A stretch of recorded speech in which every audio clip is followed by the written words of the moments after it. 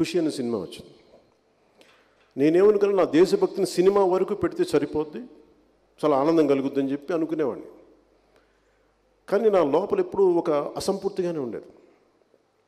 Cinema release అయిన రాత్రి కూర్చొని నెక్స్ట్ డే అది తర్వాత అంత బాగుంది అంటే నాకు వెలితి పోలేదు. నాకు ఫస్ట్ టైం ఒక సినిమా ఒకటి జీవితంలో అపజయం వస్తే ఎలా ఉంటుందో నాకు అలాంటి భావన వచ్చింది. అసంపూర్తిగా ఉంది. ఏంటి నాకు ఇట్లా ఇట్లా అయిపోయినాయి ఏంటి నేను? ఆనందం లేదని నాలోనే ఆ తర్వాత నా సమాధానం దొరకలేదు నాకు. అలా నేను ఇంకా ఏం చేయాలో తెలియక నేను యుఎస్కి వెళ్ళి ఏదైనా మార్షల్ ఆర్ట్ ట్రైనింగ్కి వెళ్దామని ప్లాన్ చేసుకుని వెళ్తున్నాను యుఎస్కి. అది కరెక్ట్గా అది మనకి ట్విన్ టవర్స్ నైన్ లెవెన్ టైంలో నేను అక్కడే ఉన్నాను.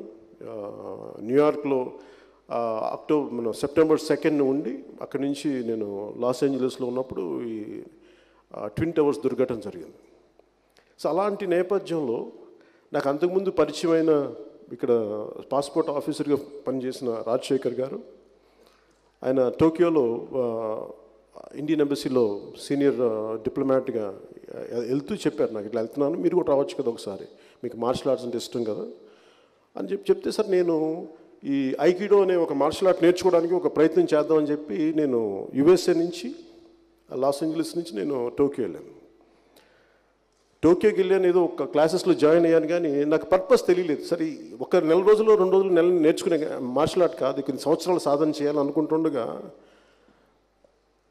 ఆయన నన్ను ఒక చోటుకు తీసుకెళ్ళాను నీకు ఒక సర్ప్రైజ్ ఇస్తాను నీకు దేశభక్తి చాలా ఎక్కువ కదా నీకు నచ్చే అంశం ఒకటి చూపిస్తాను రా అని చెప్పి నన్ను తీసుకెళ్ళి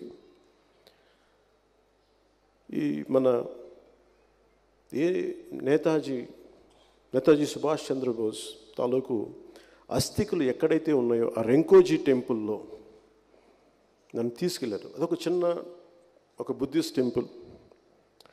ఆ బుద్ధిస్ట్ టెంపుల్లో ఎవరైతే దాన్ని భద్రపరిచారో ఆయన తాలూకు కూతురు పెద్ద ఆవిడ ఒక ఆడున్నారు ఉన్నారు. నాకు నేతాజీ అస్థికలు చూపించారు. నాకు గుండె ద్రవించుకుపోయింది.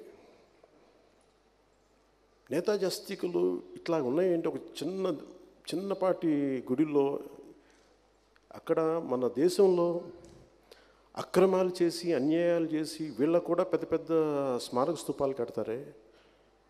వీళ్ళను కూడా గుండెలకు ఎక్కించుకుని ఊరేగింపులు చేస్తారే చనిపోయిన సంవత్సరాల తర్వాత కూడా? ఇలాంటి మహానుభావుడికి ఇంత చైతన్యం కలిగించిన వ్యక్తికి ఎందుకు ఇలాగా దిక్కు లేకుండా ఇలా అయిపోయింది ఏంటి ఎవరు రారేంటి అని అనుకు అనుకుంటుండగా నేను అంతకుమించి ఆలోచించలేకపోయి నేను కూడా. సో అక్కడ విజిటర్స్ బుక్లో ఉంది. నా రాజశేఖర్ గారు నేను రాయండి అన్నారు. చూస్తే దాని ముందు ప్రధానమంత్రి వాజ్పేయి గారు గారు కూడా అంతకుముందు వచ్చినట్టున్నారు. అంతకుముందు పర్యటనలో ఎక్కడ. నేను ఏం రాసుకున్నానంటే ఆ రోజున ఒక నీ అస్థికలు భారతదేశంలోకి తీసుకురావాలని రాసుకున్నాను.